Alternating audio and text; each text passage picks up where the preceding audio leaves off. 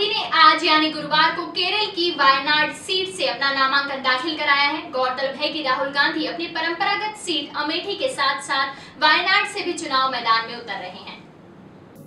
भाजपा की ओर से लगातार कहा जा रहा है कि राहुल गांधी हार के डर से केरल भाग गए हैं, लेकिन राहुल यहाँ ऐसे ही नहीं आए, बल्कि वायनाड से पूरे गांधी परिवार का बेहद खास नाता रहा है।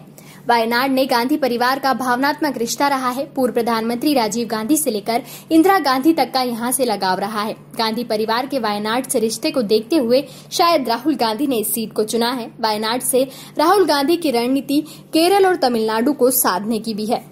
राहुल गांधी के पिता और पूर्व प्रधानमंत्री राजीव गांधी की हत्या के बाद उनकी अस्थि को वायनाड में ही विसर्जित किया गया था। पिता की अस्थि को विसर्जित करने राहुल गांधी खुद पूर्व रक्षा मंत्री ए के एंटनी के साथ वायनाड गए थे। यहाँ उन्होंने पहले थिरुनेल्ली मंदिर में पूजा अर्चना की और इसके बाद के करुणाकरण के साथ पापनाशिनी नदी में अस्थि को विसर्जित किया था। उन्नीस में राजीव की हत्या के बाद कांग्रेस नेता के करुणाकरण ने राजीव गांधी की अस्थियों के ज़रिए राज्य में कांग्रेस के पक्ष में माहौल बनाया था। इसी माहौल में लोकसभा और विधानसभा चुनाव में कांग्रेस को बड़ा फ़ायदा मिला था।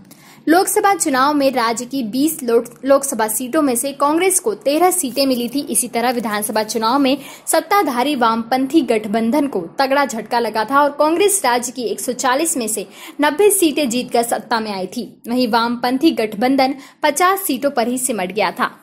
राहुल गांधी करीब 28 साल बाद इस सीट पर अपनी किस्मत आजमा रहे हैं। मौजूदा समय में कांग्रेस अपने राजनीतिक वजूद की लड़ाई लड़ रही है।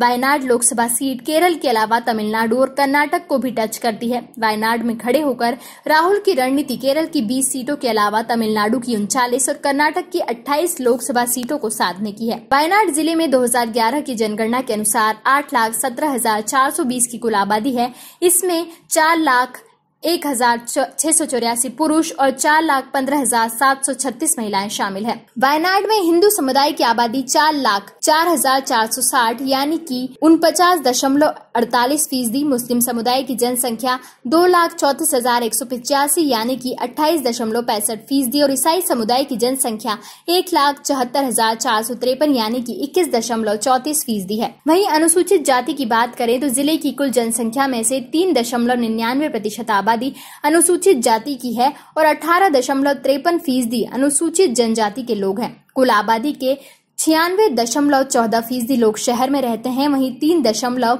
छियासी प्रतिशत लोग ग्रामीण इलाकों में निवास करते हैं।